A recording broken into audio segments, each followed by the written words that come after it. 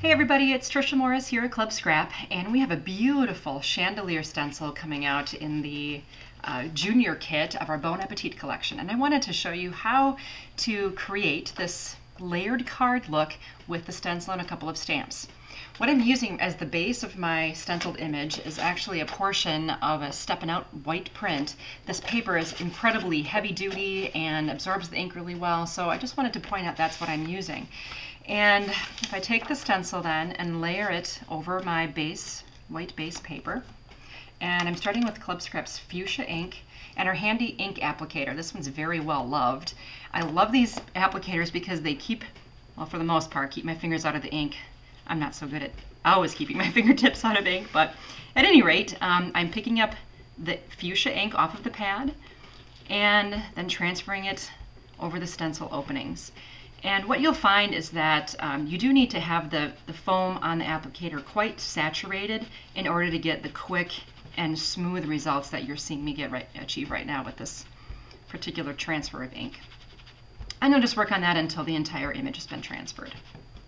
Now what I did to create more of a collaged effect on my stencil, because I was sort of having fun, um, is, is applied some additional background chandeliers and you can notice a completely different technique that I'm using for my ink application.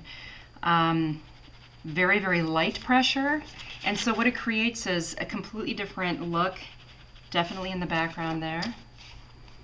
And you can just add those around. And this is just creating a different sort of a layered look. You don't have to do this, of course, because I think it was beautiful just as it was. But, you know, wow, that really starts adding a lot. Okay, stop Tricia. then the next layer, I always love to add text. And from the Wildflowers collection here at Club Scrap, this uh, was released in June of 2012. On the Club Scrap unmounted sheet, there was an image of just simply script text, sort of, you know, small and illegible, but to me it adds a really nice touch of what I would call a noise and whenever I stamp text, I avoid stamping it straight because inevitably it's not quite straight. And if I just stamp at an angle, then I'm not fighting with nature. okay, so here I have my text noise. That's layer number two. And then I will add from the Club Scrap Unmounted stamps from Bon Appetit the expression Bon Appetit onto the piece. And you could add that several times if you wanted to almost like a accent. Totally up to you. Finally, for another layer, also from the Bon Appetit uh, Club Scrap unmounted stamp sheet is this large swirl. I'm inking it with Club Scrap's Earth ink and if I just go in for another nice layer here, it's really adding a nice warmth to this image. Now speaking of warmth, there's definitely something different about this piece than my finished piece. Do you see the glow around the outer perimeter? There are two ways to achieve that. I'm taking that same ink applicator and I'm going to drag the ink from my base paper, which I have this desk blotter, over the paper. This is a very specific way of doing it that creates this soft glow. And it's much softer than using other techniques. Notice I'm kind of lifting upward as well, preventing uh, some stray marks and unwanted marks to land on my paper. Totally soften the look, but I want another layer of warmth.